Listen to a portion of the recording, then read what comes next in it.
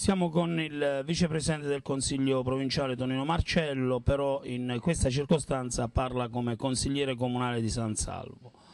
Il suo gruppo e anche lui personalmente, il gruppo di minoranza, ha presentato una mozione che è stata approvata in Consiglio comunale e che sta ovviamente suscitando notevole dibattito politico. La mozione eh, ha eh, diciamo, deliberato la revoca dei due rappresentanti all'interno del porto turistico. Per la verità una mozione simile l'avevano presentata già a maggio ed era stata bocciata per un voto. Eh, questa volta invece è passata con un voto in più, cioè ha ottenuto i sette voti del centrodestra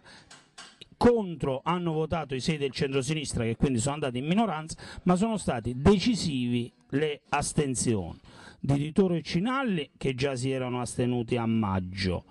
di Rossi che non c'era, di Palomba che a maggio si era astenuto e che stavolta non c'era, ma a questi si sono aggiunte delle astensioni e delle assenze di Bernava, Di Carlo e Cupaiolo. Quindi il fronte contrario, diciamo, si è arricchito di altre persone da adesso a maggio. Perché lo sappiamo, ci sono state le cambiali, c'è tutta una situazione particolare, però c'è anche una soluzione individuata eh, dall'amministrazione comunale.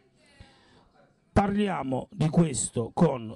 Tonino Marcello, cercando di esaminare sia gli aspetti diciamo, politici del, dell'ultimo consiglio e della mozione che è risultata vittoriosa e sia, se lui se la sente, anche degli aspetti tecnici circa la soluzione individuata.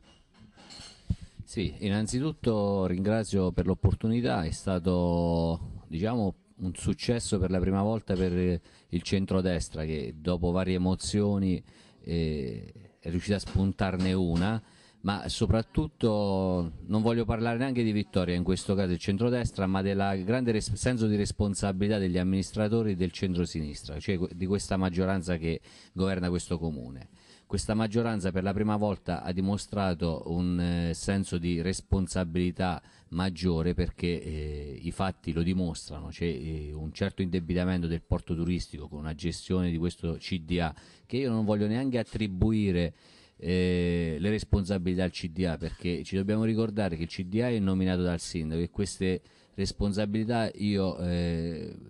le, le, rimanderei al mittente, proprio al sindaco, perché se si è arrivato a questa condizione è per una sua sciagurata gestione, perché fa delle previsioni senza tener conto di quelli che possono essere i momenti storici, la crisi,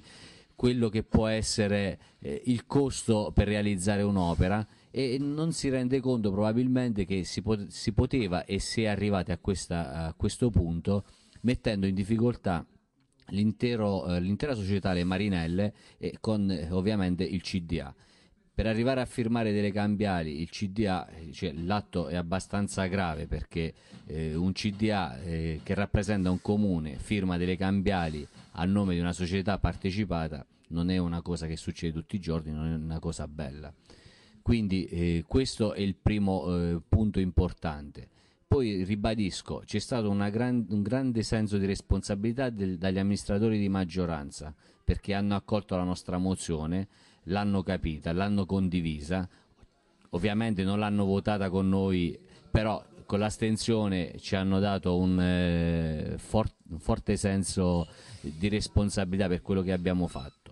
Su questa vicenda vorrei anche tranquillizzare i diportisti perché noi non abbiamo chiesto nient'altro eh, di quello che ci spetta fare, cioè la revoca del CDA e di individuare eventuali responsabilità su questa situazione, che penso che sia il minimo che possiamo fare come amministratori di minoranza perché la cittadinanza non si deve trovare ad affrontare delle spese se non, eh, non, non è parte in causa di questa situazione. Quindi questa cosa è molto importante su questo fronte.